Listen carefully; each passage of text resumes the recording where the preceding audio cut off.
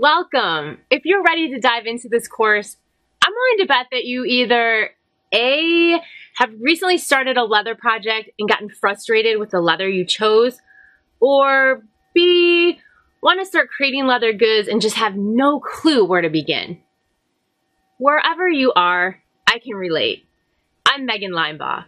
And several years ago, when I started experimenting with leather, I got super overwhelmed. Now, I love learning new things, but I also became quickly frustrated with the lack of available resources for newbie leather enthusiasts. I mean, how are you supposed to learn this stuff when nobody's teaching it?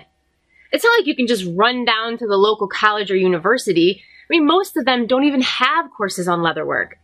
Even online, the information is few and far between, and what I did find was confusing and really difficult to apply. So after asking a ton of questions and through lots of trial and error, I spent countless hours and thousands of dollars learning the foundations of leatherwork. And along the way, I took notes of all the lessons I learned and all the important stuff that I wish someone would have told me. Now, trust me, when I first started out, if I had known what you're about to learn, it would have saved me so much time and a ton of money. Like a lot of money. For me, the initial learning curve was pretty steep, but I didn't give up. What started out as a simple DIY project, learning to make name tags for my dogs, has turned into a full-time leather business.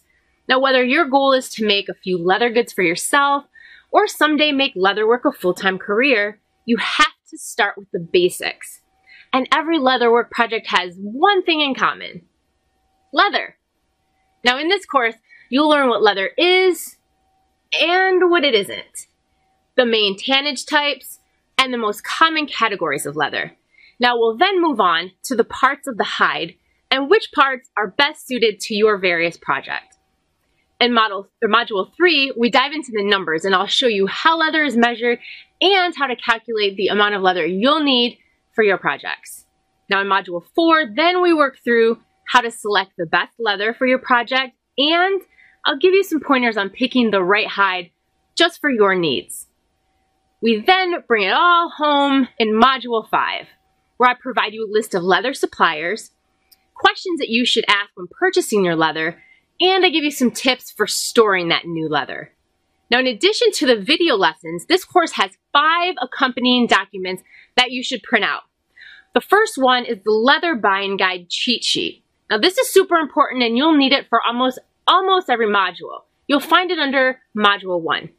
The second is the parts of the hide diagram. It will be available to you in Module 2. Third, we have the weight and thickness chart, and that will come your way in Module 3. And finally, the leather vendor list and the cost comparison worksheet will be available in Module 5. Now here, we don't do homework. We do leather work. So after almost each module, I will give you a leatherwork assignment related to the information that you just learned. Now make sure you complete your leatherwork assignment before moving on to the next module. I'm not kidding. Do that leatherwork. Now if you've jumped ahead and you notice that you currently don't have access to all the modules, no worries, that's intentional. It's vital that we move through this information in order. Trust me. So to keep us on track, each day a new module will be available to you. Now today, go ahead and tackle module one. Then complete your leatherwork assignment. Tomorrow, you'll see that module two will be available to you. And then module three the following day. And then, get it? In five short days, you will have completed this course and be armed with the necessary knowledge to purchase leather with confidence. But Megan, my kids have a soccer game tomorrow and I don't think I can do a module that day. Or what if I'm a slow learner? Or what if I have an emergency and I can't finish all the lessons in five days? I mean, what am I supposed to... Slow down. Deep breath. Exhale. It's okay. You don't have to finish everything in five days.